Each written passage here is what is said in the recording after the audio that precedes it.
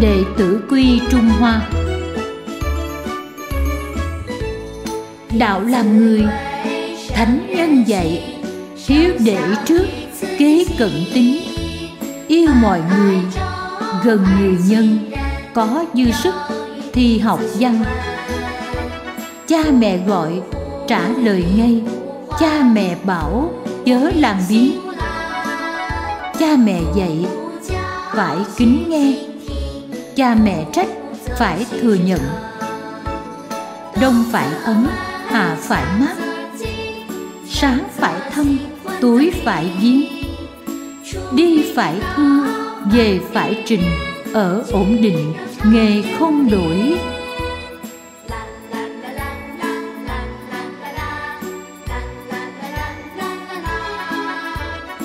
Chớ tự ti, đừng tự bỏ, thánh và hiền dần dần đạt nỗi nhớ nhung của bà nội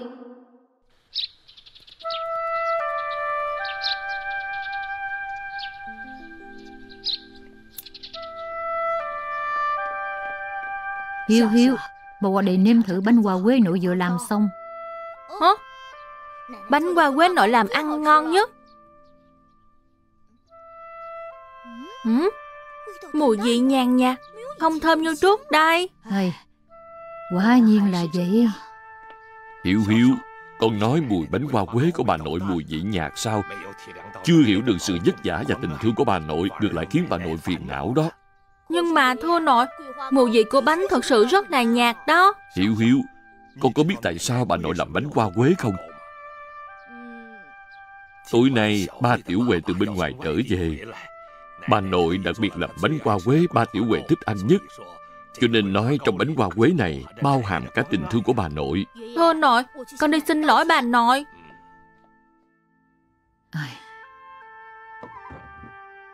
Nội ơi, nội đừng buồn nữa. Do con không tốt, con không nên nói như vậy. Hiếu Hiếu nói không sai. Bên trong bánh hoa quế này á, là hoa quế khô, chứ không phải là cánh hoa tươi, cho nên chẳng còn bao nhiêu vị hoa quế. Ây, phải làm sao đây? Ừm, Nội ơi, con giúp nội đi tìm qua quế nha. Ừ. Ê, ô, ô. Tiểu sủng ca, em đi tìm anh nè. Hiếu Hiếu, anh có hẹn với Tiểu Qua rồi, đi tham gia hoạt động kính trọng người già. Bây giờ còn chưa đi thì sẽ trễ mất. Ê, tiểu sủng ca, anh chỉ cần giúp em biến ra qua quế là được rồi. Qua quế, chuyện này cũng dễ thôi.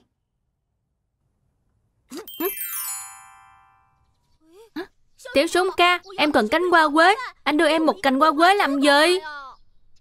Hiếu Hiếu, hoa quế cũng có quy luật sinh trưởng. Chỉ đến mùa thu mới có thể nở hoa được.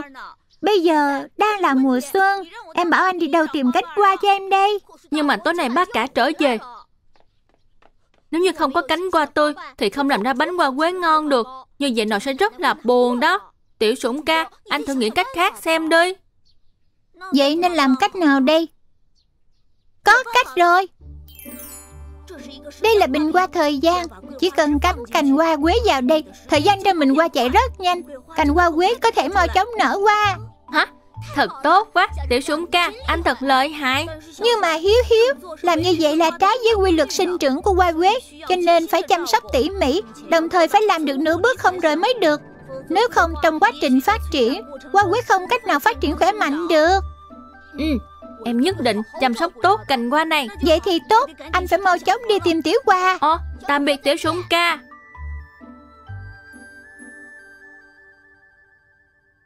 Hả? Nhanh như vậy đã có nụ hoa rồi.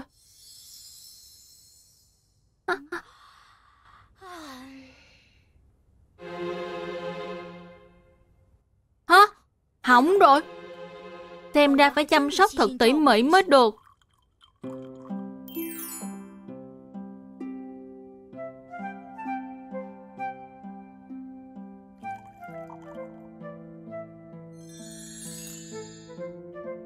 Thật tốt quá, cuối cùng cũng nở qua. Đúng rồi, mình phải nhanh chóng đi nói với nội biết. Nội ơi!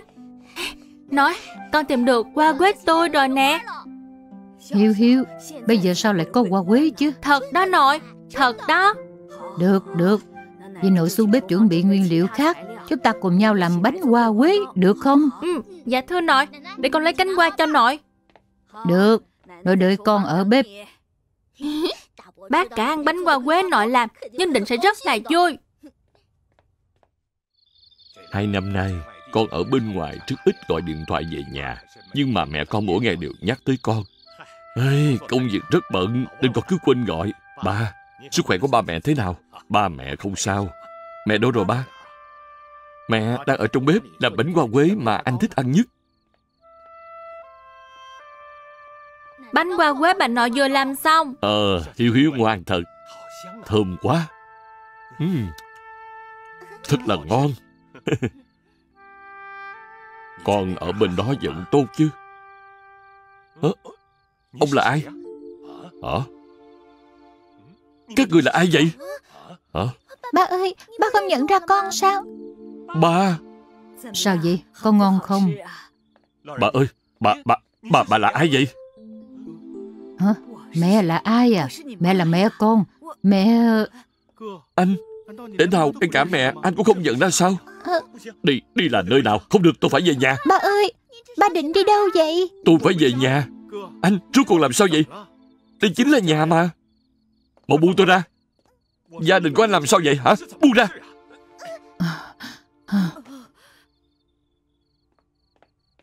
Tiểu sủng ca, không biết tại sao bác cả không nhớ ai hết vậy?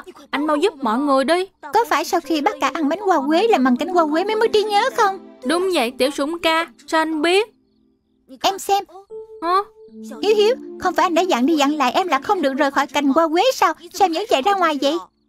Nhưng nó nở qua rồi mà. Hiếu Hiếu, làm việc phải có đầu có đuôi. Có đầu có đuôi là ý thức trách nhiệm. Nếu em đã hứa không rời cành hoa quế nửa bước, như vậy cho dù nó nở qua rồi, cũng phải tiếp tục thực hiện lời hứa. Dạng vật trong trời đất đều có linh tính. Em không chịu trách nhiệm như vậy sẽ làm hỏng cành hoa quế. Ba của Tiểu Huệ bởi vì ăn phải hoa quế không tốt mới mất trí nhớ. Bác cả, tại con không tốt, bác mau nhớ lại đi. Nhớ là cái gì? Bây giờ tôi chỉ muốn về nhà thôi.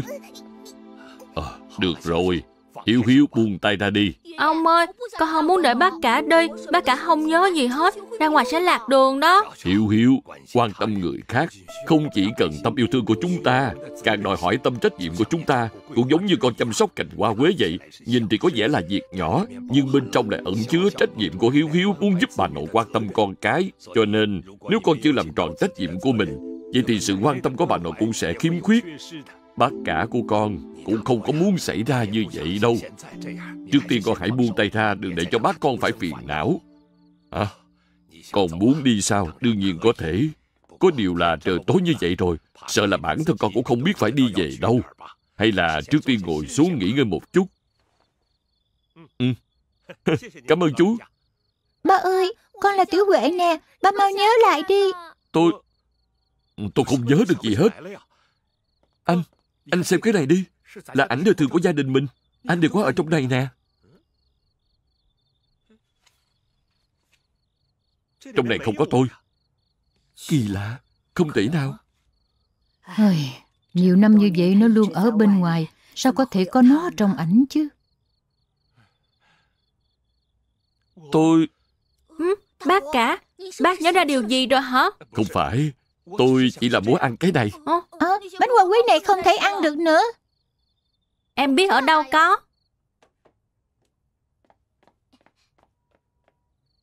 Con mời bác cả ăn. Ừ, ừ. Mùi vị thật là quen thuộc. Mẹ, Con của mẹ, cuối cùng con cũng nhớ ra rồi. anh anh nhớ ra rồi sao? Đoán xem em là ai? Chú đương nhiên là em trai của tôi rồi. Con gái ngoan của ba. Ba ơi, ba dọa con sợ đó. Kỳ lạ, tại sao bác cả lại đột nhiên lại nhớ ra vậy? Bởi vì mùi vị của bánh hoa quế này tuy nhạt, nhưng mà mùi vị này chỉ bà nội con mới có thể làm ra thôi. Nếm được mùi vị này, bác liền nhớ đến bà nội. Hiếu Hiếu, em xem, sự quan tâm của bà nội đối với bác cả mà nói quan trọng biết bao. Ừ, sau này em nhất định sẽ nghiêm túc giúp đỡ bà nội, cùng nhau duy trì sự quan tâm này. Mẹ, con không muốn rời đi nữa. Con muốn ở lại bên cạnh ba mẹ. Ba mẹ còn không đi xa. Vì mặt hiếu kính ba mẹ, con thực sự còn kém rất nhiều. Con trai, Câu này của con chưa nói hết. Ba mẹ còn không đi xa. Nếu đi xa phải thưa rõ. Ý nghĩa thực sự của câu nói này dạy chúng ta. Trước khi ra khỏi nhà phải thưa rõ với ba mẹ. Để ba mẹ biết được chúng ta đang làm gì, làm như thế nào. Luôn biết được tình hình của chúng ta. Như vậy ba mẹ mới yên tâm. Hiếu thuận ba mẹ không chỉ là hành vi của con, quan trọng nhất là tâm của con. Thưa ba, con hiểu rồi. Sau này con nhất định sẽ thường xuyên gọi điện thoại về nhà. Được rồi, con mau đi đi, kéo lỡ chuyến tàu. Dạ, tạm biệt cả nhà. Tạm biệt ba. Cành hoa quế, sau này mình nhất định sẽ nghiêm túc chăm sóc bạn để bạn lớn lên khỏe mạnh, nở ra hoa quế thơm ngát. Các bạn nhỏ ơi, đi phải thưa, câu này nói với chúng ta, phải hiểu được giữa người với người quan tâm lẫn nhau là tồn tại trách nhiệm. Cho nên trong lòng của chúng ta phải thường nghĩ đến người khác, không mang lại phiền phức và lo lắng không cần thiết cho người khác.